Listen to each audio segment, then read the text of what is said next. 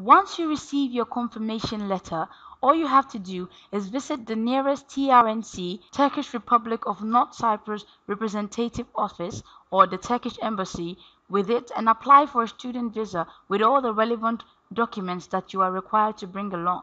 It's important that you do this as soon as possible because visa processing can take a while depending on the country you're in. However, with your confirmation letter, your study visa to study abroad in Europe, North Cyprus, is as good as guaranteed.